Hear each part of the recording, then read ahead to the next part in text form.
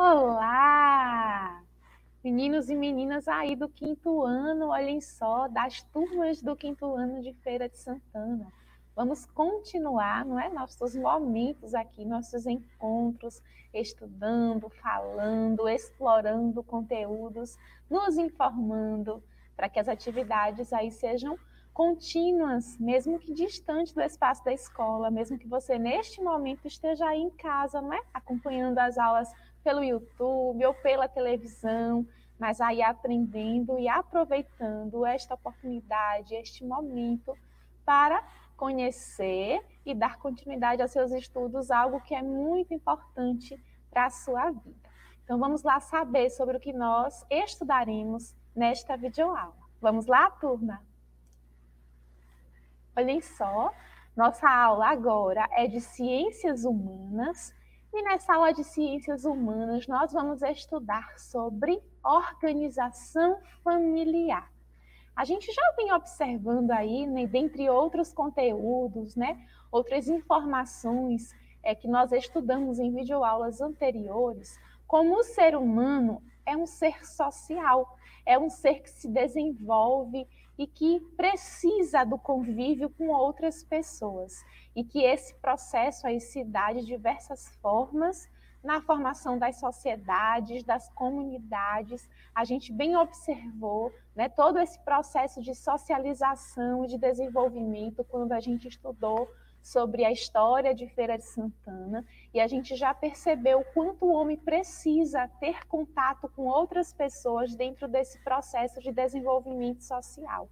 E quando a gente fala em grupos, em desenvolvimento social, em interação com outras pessoas, a gente não pode deixar de falar das famílias, que também são grupos sociais, né, onde os indivíduos têm aí contato diariamente com outras pessoas. E é o grupo social que nós, em um primeiro momento, temos aí esse contato. Então, nossos primeiros aprendizados, nossos primeiros convívios são com as pessoas que estão fazendo parte, que estão compondo o nosso núcleo familiar no ambiente da nossa. A partir né, das outras interações, das outras vivências que as pessoas vão passando dentro do processo de ir para a escola, de conviver dentro da comunidade em outros espaços, vai convivendo aí com outras pessoas que estão ali fora desse primeiro grupo social que nós temos, é os nossos primeiros contatos. Então a família ela tem aí uma importância muito grande nas nossas primeiras aprendizagens, né? nas nossas primeiras informações, na forma como os nossos costumes, é, os nossos valores vão sendo formados e nos construindo enquanto pessoa, enquanto indivíduo, que faz parte aí não só de um grupo pequeno da família, não só de um grupo pequeno da escola, da igreja, mas de uma sociedade muito grande, porque nós vivemos numa cidade, num estado, num país, nós vivemos no mundo. E todas as nossas ações né, estão aí sendo influenciadas e também influenciam aí a nossa sociedade, o meio em que a gente está inserido. Mas vamos lá. Para começar para trás essa imagem, para nós pensarmos aí na definição de família. O que é, família para você? Quando você pensa aí, família, hum, se eu tivesse aí que escrever, ou você tivesse que escrever neste momento em seu caderno, ou simplesmente me falar, se eu pudesse te ouvir, e eu pedisse agora, defina aí o que é família. O que é que você me falaria? O que é que você escreveria? dentro do que você entende por família.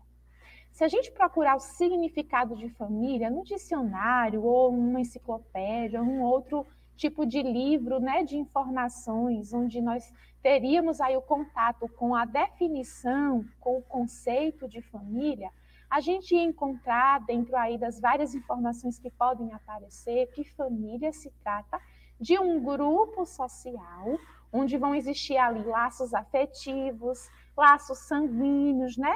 É, às vezes aí os dois, né? Laços de convivência é, de um grupo aí de pessoas que têm essa, esse convívio um com o outro dentro de um espaço menor ou de um espaço maior, mas está relacionado principalmente a um grupo de pessoas que vivem juntas, que tenham parentesco, que sejam é, juntas porque são do mesmo sangue, né? Ou que vivem juntas ali por questões afetivas, né? Ou por outras necessidades. O conceito de família desde então ele vem mudando, ele vem observando características diferentes porque a sociedade mudou, né? Então, o que se entendia por família há tempos atrás, principalmente no início, quando as famílias aí começaram, né, a serem observadas como grupos sociais importantes nas sociedades, a gente observa que essa definição, esse conceito vem mudando de acordo também com as próprias mudanças que a sociedade vem passando. Então, muitas outras definições, muitas outras características foram incluídas quando a gente vai entender e vai conceituar essa palavrinha aí, ó, família. E aí, quando a gente pensa em família, a gente precisa entender esse grupo como uma organização familiar. Inclusive, aí, uma das primeiras organizações sociais, não é? Que foram aí é, organizadas pelos seres humanos na intenção de se é, de melhorar suas condições de vida, né, de se proteger e de começar os primeiros movimentos para as construções das primeiras comunidades, das primeiras cidades. Então, quando os seres humanos começaram a se agrupar para facilitar a vida, eles buscavam aí os laços familiares para promover o agrupamento. Então, as primeiras organizações familiares, elas começam a existir diante das próprias necessidades dos seres humanos. E na hora de formar esses pequenos grupos para atender essas necessidades, os seres humanos procuravam né, se agrupar de acordo aí é, à proximidade é, de laços familiares. E aí, com o sedentarismo, que foi a fixação das pessoas em locais estabelecidos, os clãs de famílias deram origem às tribos e, posteriormente, às cidades. A gente sabe aí que os homens antes, né, os seres humanos, eles eram nômades, eles não tinham moradia fixa, eles ficavam em um determinado espaço, mas quando a, a, o oferecimento de alimentos não é, estava escasso, eles se mudavam para um outro ambiente onde eles poderiam aí ter alimentação e abundância. Mas quando eles começam a é, dominar a agricultura, a passar a pescar, a caçar, a criar animais e aí fazer toda essa questão relacionada à fixação dele em um determinado lugar, os grupos familiares começam a ser formados e a partir daí se dá justamente né, o desenvolvimento das primeiras cidades, das primeiras comunidades. E aí a família passou a ser o laço de confiança para a procriação e a continuidade da espécie, além de garantir proteção e compartilhamento também da alimentação. Então, não só a procriação, né, não só aí é, a continuidade da espécie, mas os grupos familiares garantiam também proteção, porque era muito mais fácil, né? Um grupo se defender dos perigos, conseguir alimento, do que uma pessoa vivendo isoladamente. E aí surge a família patriarcal, que é aí o mais antigo modelo familiar ainda nos primórdios aí da humanidade, então nos primeiros anos de desenvolvimento social né, dos seres humanos, o modelo patriarcal estabeleceu-se como organização familiar tradicional. E o que é esse modelo patriarcal, Pro? Olhem só. Chamamos de patriarcal a família chefiada por um homem, que aí no caso é designado patriarca, ou seja, o pai que tem por responsabilidade adquirir alimentos e cuidar da segurança de seus filhos e também de sua esposa. É como se fosse o líder, né? Então, o líder da família é colocado na figura masculina. E aí, nessa forma de organização familiar, no início, os homens caçavam para alimentar a esposa e os filhos que ficavam sob os cuidados da mãe. Então, a gente observa no modelo patriarcal uma definição das funções que seriam aí designadas para a figura masculina, não é? E as funções dentro do, daquele convívio, dentro daquele grupo social que seriam designadas para as mulheres.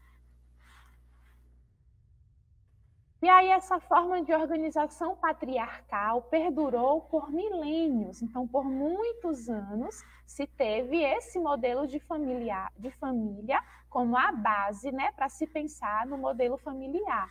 Então, o homem, né, o líder do grupo do grupo familiar é, colocado na pessoa, no homem, é, que tinha as suas funções determinadas, enquanto as mulheres também tinham outras funções determinadas, mas se chama patriarcal porque se entendia aí a existência de um patriarca. Só que após a Revolução Industrial, né, principalmente após esse momento, algumas mudanças começaram a abalar a organização patriarcal de família. Esse período aí foi um período onde é, as formas de trabalho tiveram aí várias mudanças, inclusive a inclusão das mulheres dentro desse processo. Se antes aí as funções, né, ou a função das mulheres eram determinadas por simplesmente permanecer dentro do espaço das casas, cuidando ali dos afazeres domésticos, né, do, da, do próprio cuidar das crianças, dos filhos, a partir da Revolução Industrial, que é quando as indústrias, as fábricas, elas começam a ganhar destaque em relação ao mundo, é, as mulheres começam a participar desse processo. Então, começam a sair das casas e ganhar os espaços de trabalho nas fábricas, nas indústrias. Então, começam a ter aí outras funções que não permanecer apenas aí dentro dos lares, né, cuidando dos filhos e das, da casa. Então, a principal mudança foi a inserção, mesmo que de início pequena e regulada, da mulher no mercado de trabalho. Muitas delas não ganhavam a mesma coisa, né? E a gente vê, né, é, resultados disso até hoje em relação a essas diferenças aí de salário. Mas, assim, é, elas passaram, mesmo que de forma pequena ainda, né? Não para todas, não eram todas que tinham essa permissão ou que tinham essa oportunidade, mas a gente já observa que a mulher passa assim ser inserida no mercado de trabalho e a sua função dentro do contexto familiar começa a mudar. E aí a gente observa que desde a Revolução Industrial, muitas transformações foram acontecendo, principalmente em relação àquilo que se entende como líder da família e também como a função de cada participante, de cada integrante na família, é, em relação ao que vai fazer no dia a dia, né, as suas obrigações enquanto responsáveis por um determinado grupo familiar. Então, a mulher foi ganhando outros espaços, ganhando outras funções, assim também como o homem, entendido aí então nesse modelo patriarca como o líder, né, o provedor de todas as necessidades, então, a gente já observa aí que as é, definições em relação ao que seria papel de um, papel do outro, né, começaram a variar, porque os próprios modelos de família que se observa nos dias atuais, que se observa na, nos anos né, que nós estamos vivendo, deixa de ter esse modelo em sua maioria, onde tinha o pai, a mãe e os filhos e passam a existir né, outros componentes com também muita importância dentro das funções que a família tem. Então, nos dias de hoje, podemos encontrar famílias que seguem ainda essa organização patriarcal, que tem o pai, né, a mãe, mas também a gente encontra muitas famílias que não seguem mais essa organização familiar. E aí existem vários tipos de família. A Pro trouxe aí alguns exemplos. É, família matrimonial, que aí é formada pelo casamento, né? Então, normalmente vai ter lá o pai, a mãe, né? Que foram à igreja ou ao fórum, mas casaram. Tem a família informal, que é formada aí pela união estável, não é? De casais aí. Essa união informal não está documentada, mas vivem ali, convivem dentro de um mesmo espaço.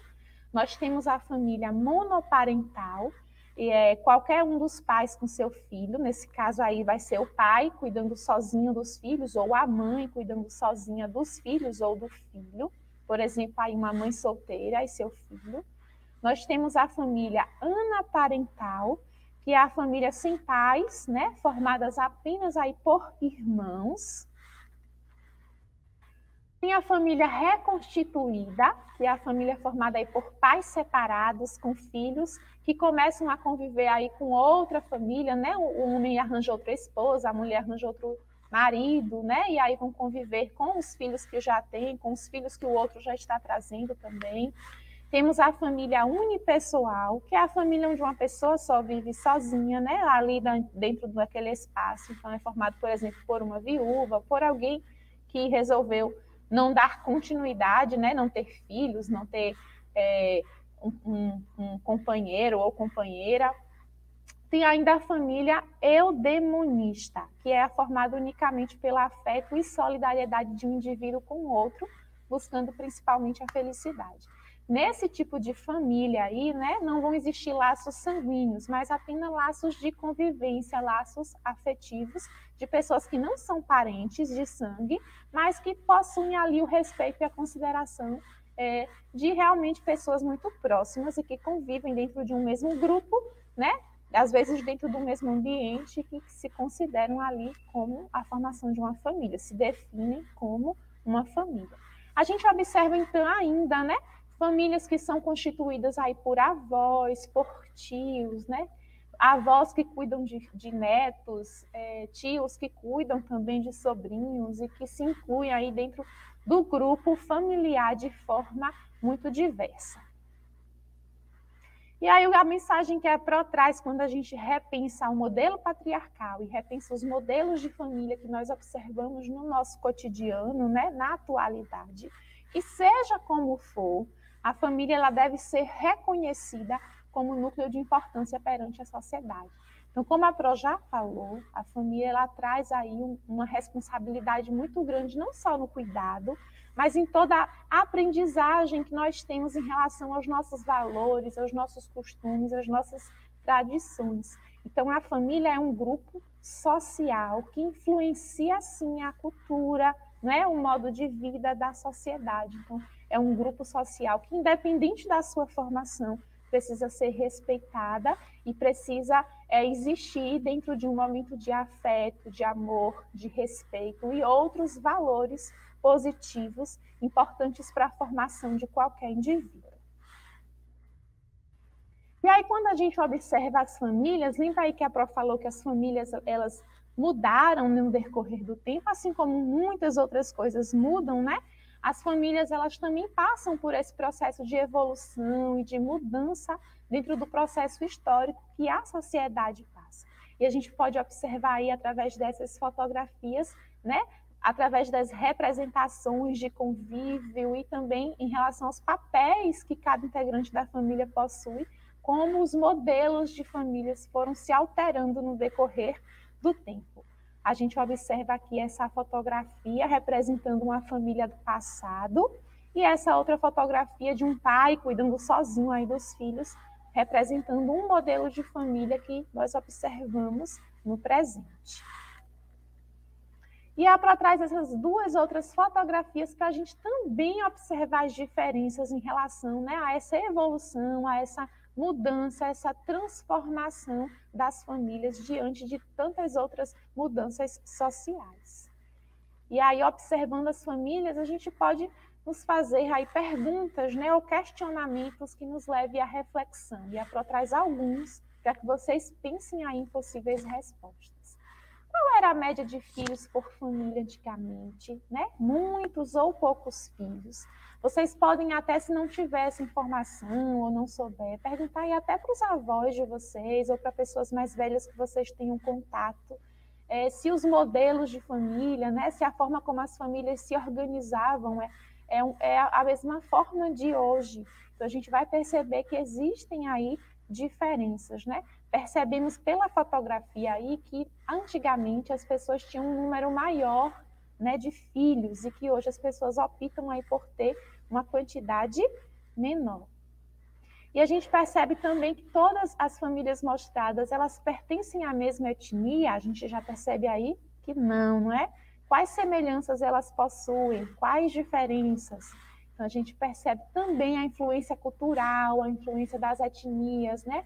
Dos imigrantes, das pessoas que vão chegando e compondo a sociedade no decorrer da história é, trazendo aí as suas características físicas diferentes, mas também o seu conhecimento, né? E as suas características culturais para dentro da continuidade, para dentro da formação cultural da sociedade. E aí a gente observa mudanças também na forma como as pessoas se vestiam. E olhem só, a fotografia era algo que não é tão fácil, não é, não é, não é algo que era tão acessível como nos dias de hoje. E muitas vezes tirar ou fazer uma fotografia era algo eventual, algo que era considerado muito importante, para um dia importante, inclusive. Então, normalmente, né, nas fotos antigas, principalmente, a gente percebe que as pessoas costumavam se vestir com a melhor roupa que tinham no dia de tirar a fotografia aí, principalmente as fotografias em família, que eram algo muito comum de serem feitas em relação aos costumes, hábitos, né, mais antigos. É, e como eram as expressões e as poses das pessoas nas fotos? As pessoas se expressam da mesma forma ainda hoje para tirar fotos? A gente percebe uma liberdade maior, tanto no posicionamento, não é? quanto na própria organização. Porque no modelo patriarcal, no modelo de família né, antigo, a gente percebe logo a imponência e a presença masculina né, na própria foto se destacando. E a gente já observa que dentro dos modelos que nós temos né, nos dias atuais, não existe mais essa preocupação. E a Pro trouxe agora alguns dados sobre as famílias brasileiras, para a gente observar, é, além aí dos vários modelos, como a família brasileira, ela está dentro dos números, dentro das pesquisas realizadas pelo IBGE, é, em relação aí às, às composições e às características é, no país inteiro. Então, o perfil das, das, famílias brasileiras mudou muito nas últimas décadas, dando cada vez mais espaço a novos formatos de lar. Confira alguns dados do IBGE sobre mudanças nas famílias do país. Então, olhem só. Entre 2000 e 2010, a proporção de divorciados aumentou de 1,7% para 3,1%, ou seja, de cada 100. Quando a gente fala em porcento, a gente está falando numa perspectiva aí de 100, a gente está falando de porcentagem. O índice de casados caiu de 37 em cada 100 para 34. E as uniões consensuais, elas aumentaram de 28 para 36. Então, as pessoas estão casando menos, se divorciando mais. As mulheres, elas são responsáveis por 37,3% das famílias, mais 62,7% dos lares, o rendimento delas ajuda no sustento da casa. Ou a família, a mulher tendo destaque né, no sustento da família. Elas têm aí cada vez menos filhos. 1,9, cerca de dois filhos aí por cada mulher. Então, existe uma proporção onde as famílias vão diminuindo, não é? A quantidade de filhos que têm.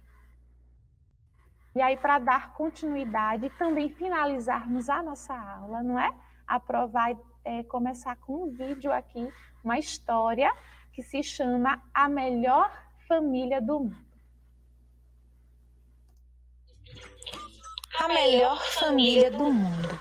Escrita por Susana Lopes, ilustrado por Ulisses Wenzel.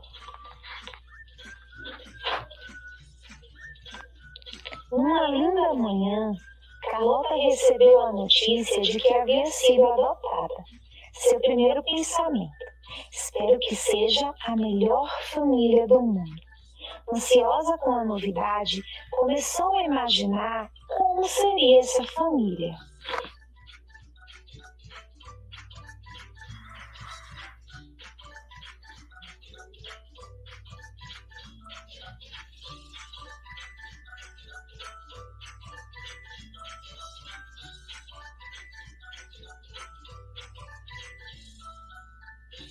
Uma manhã de maio, estava brincando no jardim do orfanato, quando a diretora a chamou na sua sala.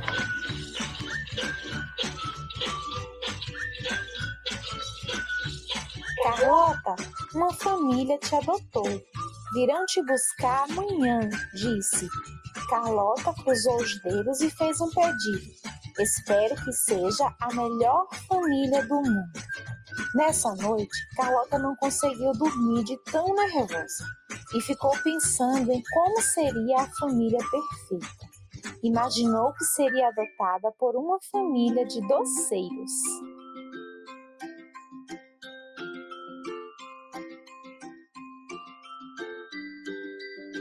Se fosse adotada por uma família de doceiros, moraria numa confeitaria.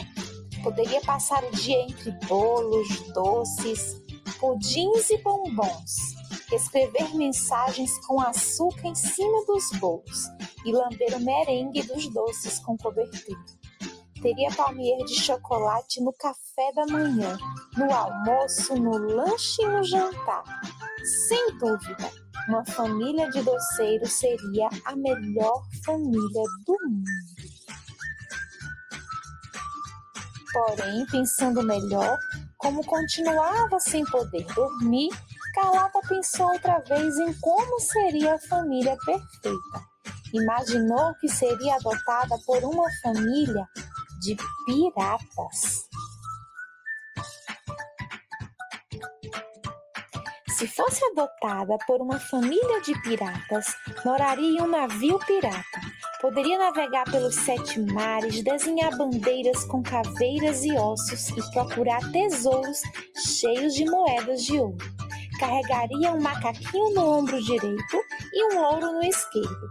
Usaria um tapa-olho e uma perna de pau. Sem dúvida, uma família de piratas seria a melhor família do mundo.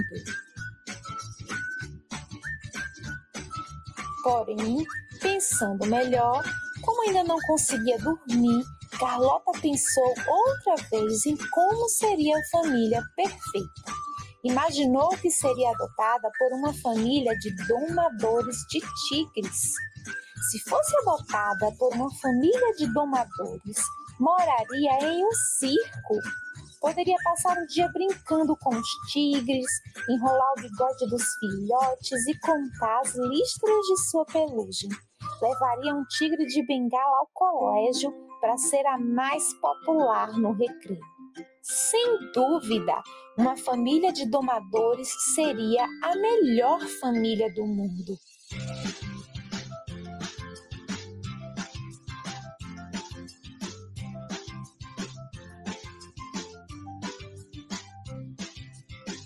Porém, pensando melhor, como ainda estava sem sono, Carlota pensou outra vez em como seria a família perfeita. Imaginou que seria adotada por uma família de astronautas. Se fosse adotada por uma família de astronautas, moraria em uma nave espacial Poderia visitar os planetas, beber milkshake na Via Láctea e dançar ula-ula com o anel de Saturno. Contaria estrelas para dormir à noite e, sem dúvida, uma família de astronautas seria a melhor família do mundo. Porém, pensando melhor, surpresa, Carlota olhou para a janela e se deu conta de que já tinha amanhecido.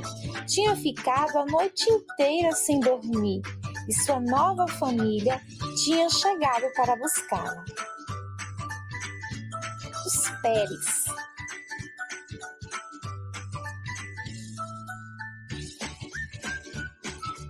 Leonor, a nova mãe de Carlota, é funcionária do correio.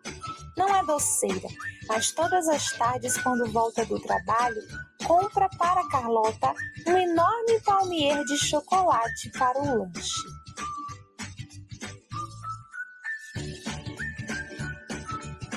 Roberto, novo pai de Carlota, trabalha como corretor de seguros. Não é pirata, mas adora brincar com Carlota de procurar tesouros escondidos no terreno baldio do bairro.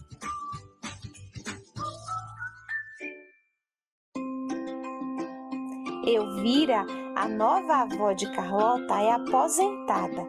não é domadora de tigres, mas tem dois gatos, Bigode e Bruno, que passam o dia cochilando no seu colo e adoram sardinhas.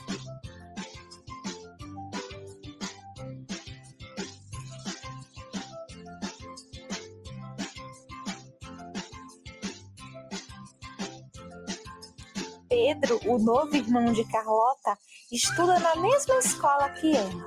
Não é astronauta, mas colou no teto do seu quarto estrelas que brilham no escuro, para que ele e Carlota possam contá-las à noite antes de dormir.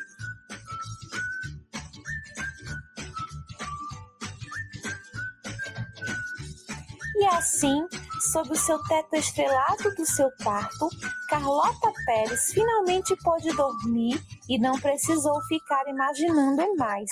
Tinha conseguido a melhor família do mundo.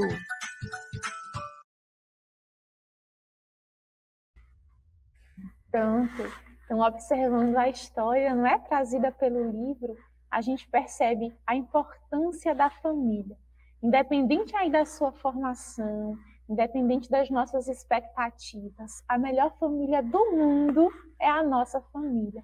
Da forma como ela for organizada, do jeitinho né, que ela for organizada. Seja com pai, seja com mãe, com os dois juntos, com a avó, com o vô, com o tio, mesmo que sejam aí pais adotivos. Então a gente observa aí que o importante é ter esse grupo familiar que nos acolha, que nos proteja e que esteja ali ao nosso lado, né, para nos formar e nos proteger, né, de todas as coisas que existem no mundo e nos ensinar também, né, a conviver e a viver com os diversos grupos sociais que nós precisamos aí ter contato no nosso dia a dia. Então, família é o conjunto de pessoas que se amam incondicionalmente ajudam-se nos bons e maus momentos, onde a felicidade começa. Família aí significa tudo. E a melhor família, ou a melhor família do mundo, é a família que a gente tem. E aí é com essas palavras que a Pro termina a aula e você agora vai dar continuidade com a sua atividade, tá certo? Tchau, tchau.